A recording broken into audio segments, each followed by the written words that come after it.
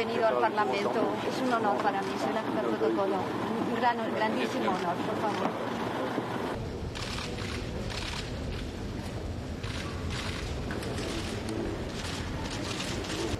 la reyes de España.